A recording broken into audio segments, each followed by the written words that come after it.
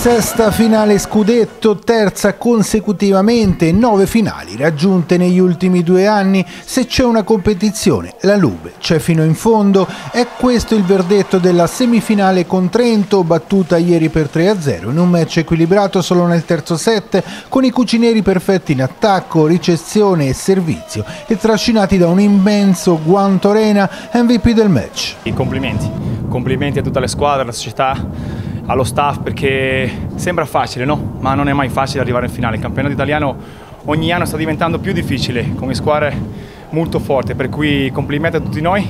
Ecco, godiamoci insomma questa serata e aspettiamo il nostro avversario domenica. E fare tutta questo, diciamo, Uh, questa strada che abbiamo fatto eh, fin dal prima, dalla prima partita contro Padova lì a Padova non è stato facile, per questo dobbiamo godere questa, questa finale perché non è mai scontato, è anche una cosa molto difficile da, da succedere, per questo godere adesso mm, forse oggi, forse domani anche secondo me Fefe ci dà, ci dà un altro giorno di, di, eh, di, staccare un po' la testa e, e da sabato già subito pensare eh, a questa finale. Una serie di quelle veramente toste avversario di, di altissimo livello, mm, abbiamo veramente dovuto tirare fuori il meglio del meglio per, per avere ragione di questa squadra. Sono contento chiaramente perché ci, ci, siamo qualificati per questa finale che era chiaramente un obiettivo forte che avevamo ma anche per come abbiamo interpretato e giocato questa partita importantissima. Ora le due finali